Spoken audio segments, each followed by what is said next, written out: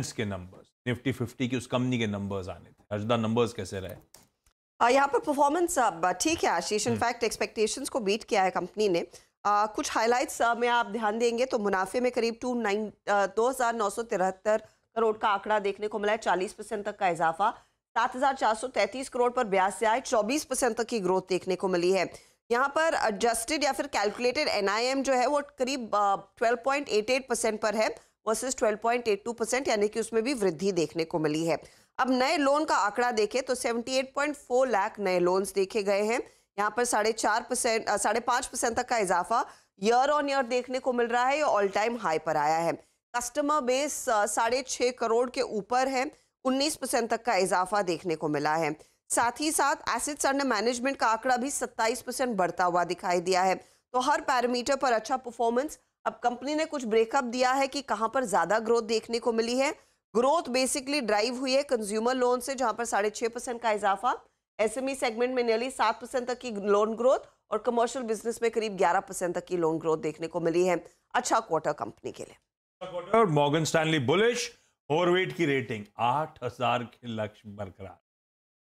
देखिए मैं इसमें ना एक चीज़ नोटिस कर रहा था कि इनका क्वार्टरली अपडेट भी कोई ख़राब नहीं था नंबर्स भी ख़राब नहीं है। लेकिन ये नंबर्स तो इस बार बैंकों के सारे अच्छे हैं। हाँ। बैंक और N B F NBFC ICICI bank के नंबर्स कितने शानदार थे लेकिन स्टॉक। गिरा उसके बाद भी। ये मुझे लग रहा है कि ये मार्केट अच्छा एक और चीज़ बैंकों की रैली में ना एक, व्यू बन गया था कि अब सारा एनपीए क्लीन अप हो चुका है और कोई नया एनपीए आएगा नहीं।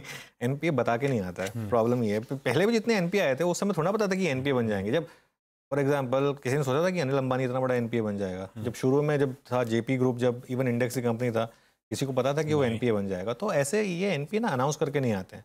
ये मैं ये नहीं कह रहा हूँ कि ये भी एनपीए आएँगे इसकी वजह से मार्केट गिर रहा है लेकिन कोई ना कोई तो रीज़न रहा है जिस जिस तरीके से ये बड़े एनबीएफसी और बैंक्स इस तरीके से पिटे हैं।